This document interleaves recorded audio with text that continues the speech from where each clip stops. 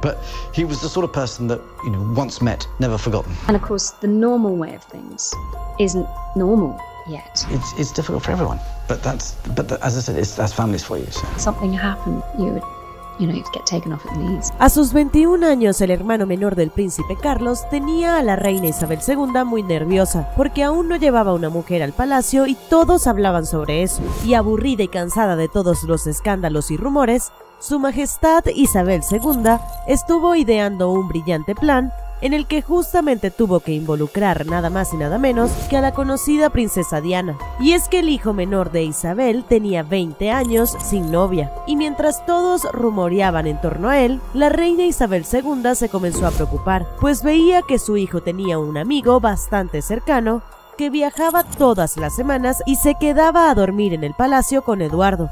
Así que este cercano amigo de la universidad de su hijo de inmediato estuvo encendiendo las alertas en la reina, que decidió tomar cartas en el asunto y definitivamente buscarle una esposa para su hijo. La reina buscó una mujer, al igual que Diana, que serviría entonces para alejar a Eduardo de su amigo especial. Pero además esa mujer tendría otro rol mucho más oscuro que era reemplazar a Diana en un futuro. Y es que la reina estaba cansada de todos los inconvenientes mentales que aparentemente tenía la princesa Diana e intentaba ocultar, y buscó entonces con su plan crear a una nueva princesa del pueblo. Con un dulce rostro como el de Diana y una humilde familia alejada de la monarquía, Sophie era la nueva princesa del pueblo, mientras que por su parte la conocida Diana se encontraba en su peor momento.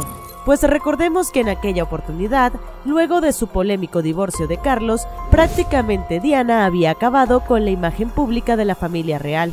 Sin embargo, la reina ya tenía solución para todas sus calamidades, y así decidió entonces casar a Sophie con el menor de sus hijos en un lujoso matrimonio. Los rumores entonces sobre las preferencias de Eduardo por los hombres finalmente comenzaron a desaparecer, y el hijo menor de la reina Isabel dejó de ser el único soltero de la monarquía, transformándose entonces en el esposo de una hermosa mujer. Sin embargo, la gente comenzó luego a comentar algo que era realmente muy evidente, y esto era el gran parecido que existía entre Sophie y Lady Di. Y a pesar de que Sophie hizo todo lo que pudo, la tira simplemente quedó expuesta, pues a pesar de que la gente adoraba a esta nueva princesa, y que la reina pensaba haberse salido con la suya, llegó entonces ese día del desafortunado accidente que acabaría con la vida de la princesa Diana, pero que al mismo tiempo la consagró para siempre como la única reina de los corazones del pueblo. Recuerda que este es el Muro de la Fama, suscríbete y dale like a este video y no te olvides de visitar nuestros otros videos para mantenerte siempre informado de lo que ocurre en el mundo del espectáculo. Nos vemos en la próxima ocasión.